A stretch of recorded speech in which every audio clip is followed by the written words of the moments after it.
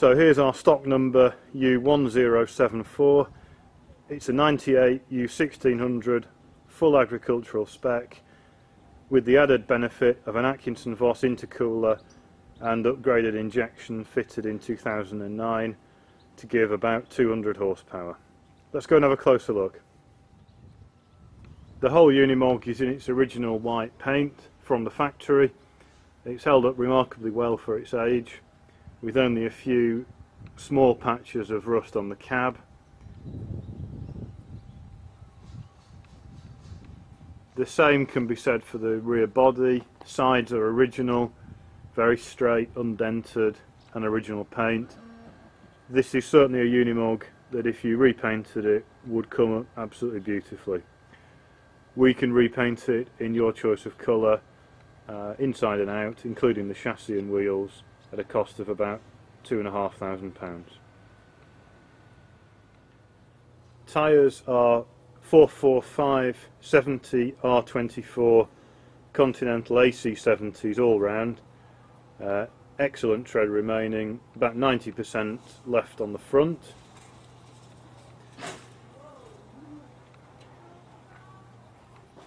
Also an aluminium diesel tank fitted, don't have to worry about rust in that. And again nice tyre fitted on the rear, approximately 80% tread left on the rear tyres.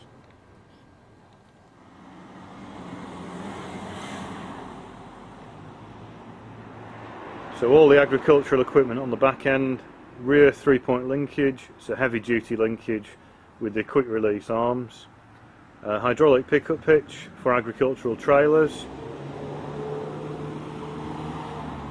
and a rear PTO shaft. It's a two speed PTO, 540 and 1000 speed.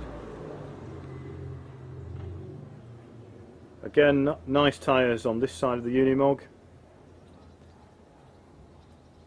and the same story for the paintwork also a stainless exhaust stack fitted and indeed a complete stainless exhaust system so you don't need to worry about replacing that for a good few years. Useful toolbox fitted on the underside of the rear body as well. Same story on the cab from this side. Uh, you can see the Atkinson Vos intercooler bonnet and grille it's also the high top cab, which makes it ideal for top hat wearers who uh, like to drive Unimogs.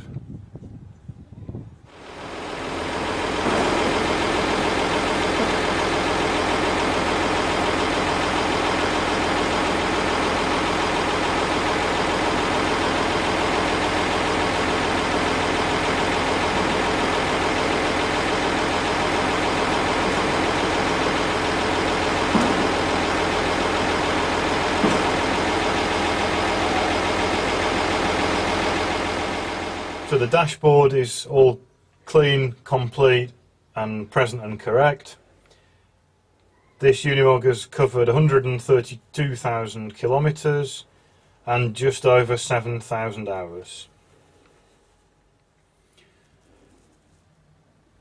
So on the gear nest we have three double acting spool valves uh, controlling linkage pickup hitch and tipper ram at the moment. Uh, the low range gears are air operated by this switch here and the PTO controlled by these two levers here along with a separate air clutch. A front PTO can be added at extra cost if required. So onto the engine compartment Engine is the original OM366. Atkinson Vos intercooler fitted there along with the gearbox oil cooler in front of it.